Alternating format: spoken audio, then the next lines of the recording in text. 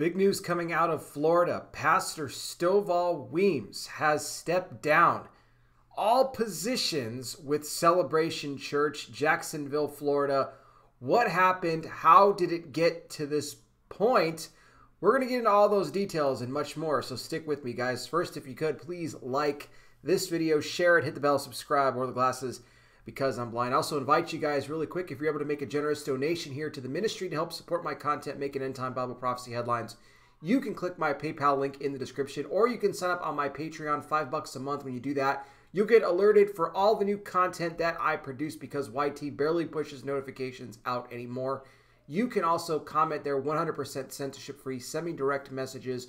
Don't forget, also give me a sub on Rumble. These videos will go on that platform as well. Plus, it serves as a backup in case I get the boot off YT. So, you might want to get in the habit of checking that out from time to time. All the links down below. Big thank you to everybody already contributing and those thinking of doing so. Thank you as well. Your generosity greatly appreciated. Let's talk about this here.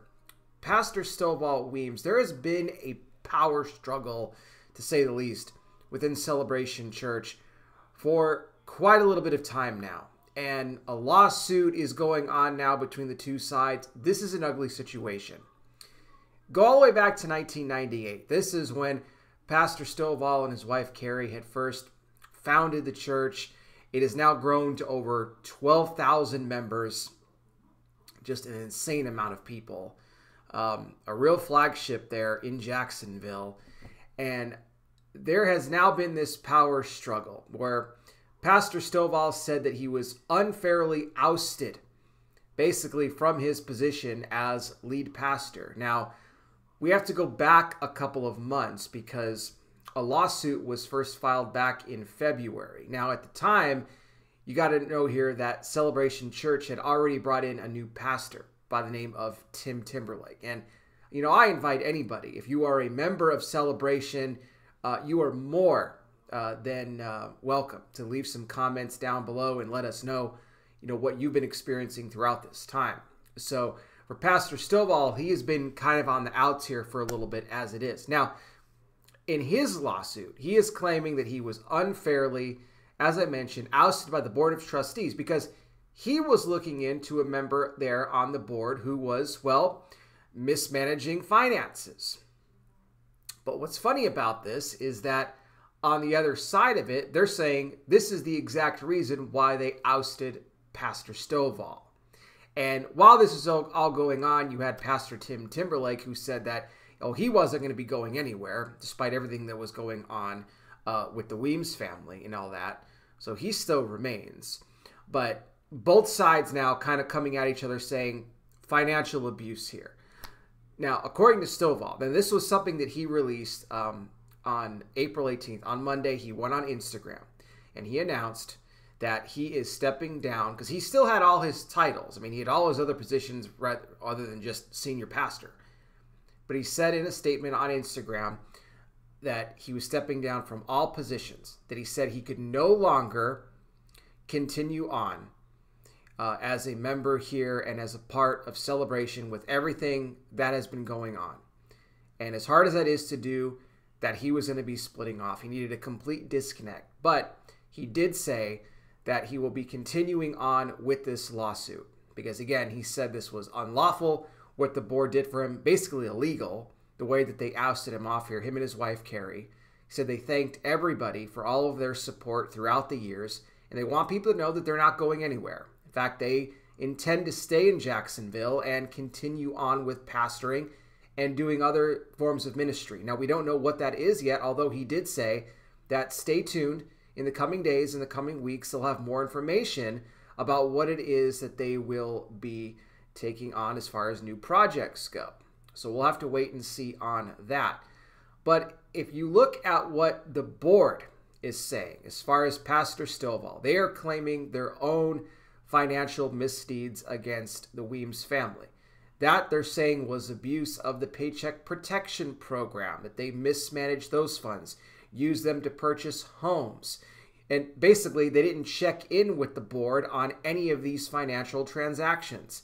They kept it all to themselves.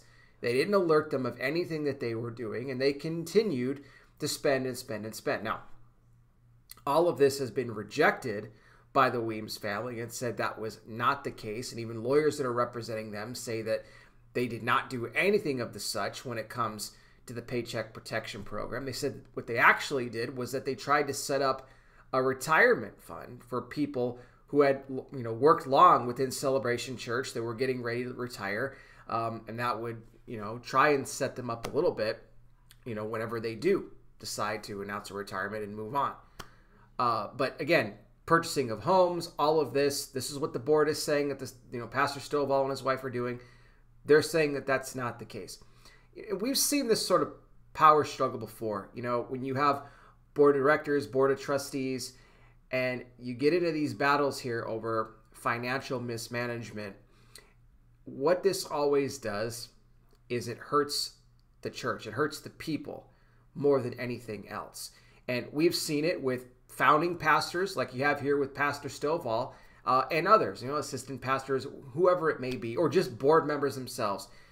There always seems to be this internal struggle, and the structure then starts to come down.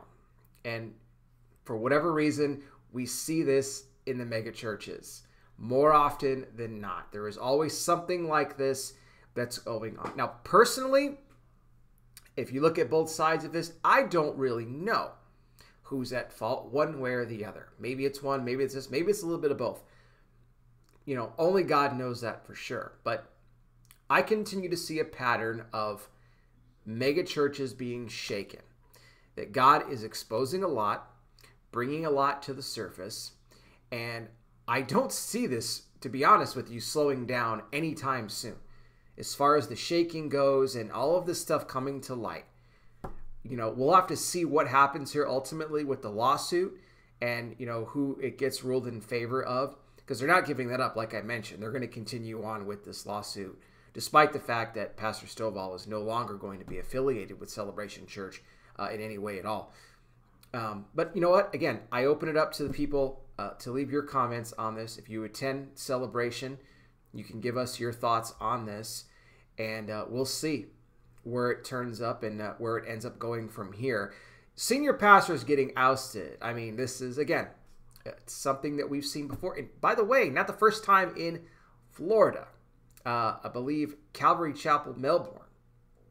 I did a story about that about a year ago, and uh, they're familiar with that as well. So we are in the last days here, guys, and I- I'm going to put the full report, by the way, in the description if you want to check it out as far as what Pastor Stovall had to say, if you want to read that.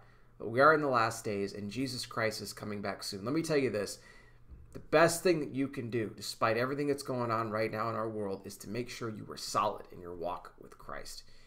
And if you have never accepted Jesus into your life, well, what I want to do right now is I like to lead you in a prayer.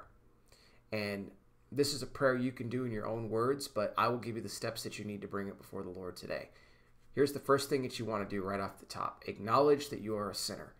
That is something that we all are. But let me tell you the good news God gave His only Son, Jesus Christ, to die on that cross for the sins of all the world. He died and rose again for you and me. He paid the cost. What you have to do is repent of your sin.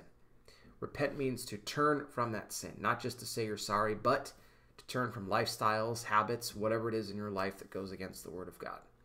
You ask Jesus to forgive you, He wipes that sin away, and the Bible says He doesn't remember it any longer. And then you invite Jesus into your life to be your Lord and Savior. When you do that and you become born again, a child of God, you will have eternal life.